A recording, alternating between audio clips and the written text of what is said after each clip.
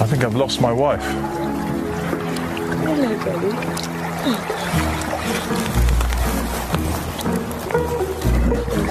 you boy. Oh, my cat. Maybe you